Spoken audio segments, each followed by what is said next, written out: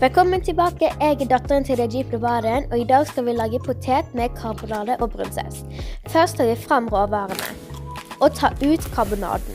Dette er matrett hele familien liker, og derfor valgte vi å lage denne maten.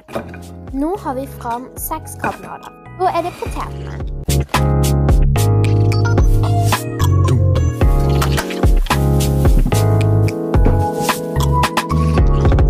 Sausen viser vi dere etterpå. Så må vi koke potetene. Så steker karbonadene. Først heller man uti posens innhold i vann og blander det veldig godt.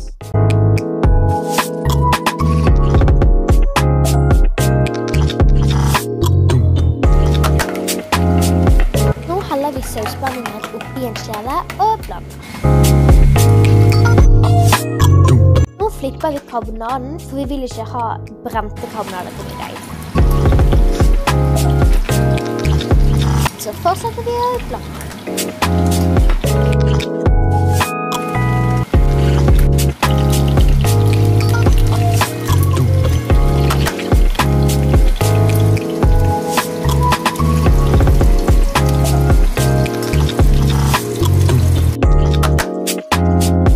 Har vi tatt både potetene og karbonaden.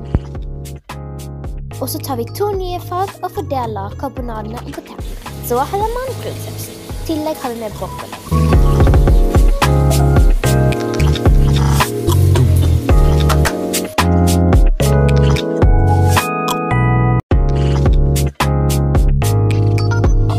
Og sånn lager man poteter med karbonade og brunsaus.